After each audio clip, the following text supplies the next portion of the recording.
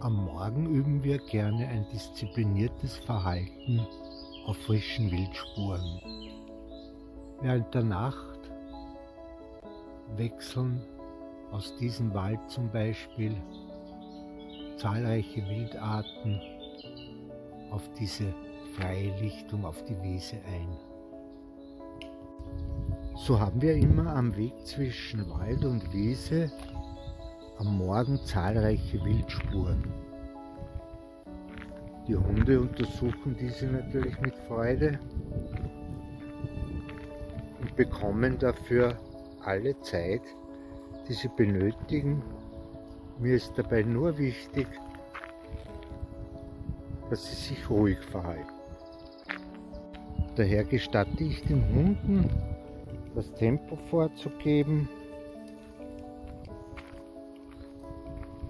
Es soll alles ruhig und entspannt ablaufen.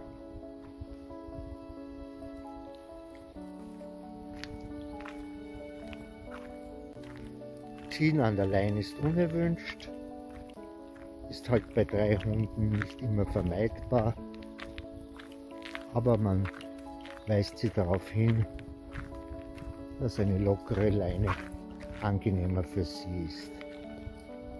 Mein Ziel ist es ausschließlich, die Hunde mit frischen Wildspuren zu konfrontieren und darauf zu achten, dass sie dabei ruhig und entspannt bleiben.